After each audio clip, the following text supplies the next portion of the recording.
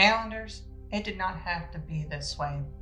It's been five months and we're all exhausted. We're still scared. We're going to get sick. Conspiracy theories are still spreading faster than the virus itself. We don't know how we're going to juggle work with learning for our kids in a virtual environment. Some are still out of work, while others are trying to work in a restaurant that closes every other week. But it did not have to be this way. We look around at the world, at Japan, they're starting their schools normally, or in Europe, where travel has resumed, or in Australia, where families are gathering today. Why did these countries win the fight on the coronavirus while we are still stuck in this never ending war?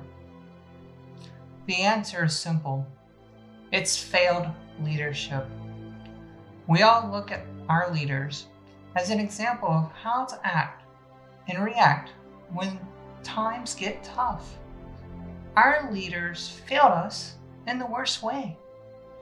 An example is Andy Harris compared the need to wear a mask in public to being in a cult.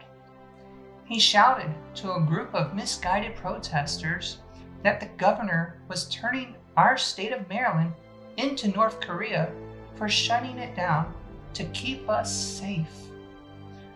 What we say and what we do matters to our Marylanders, especially when times get tough.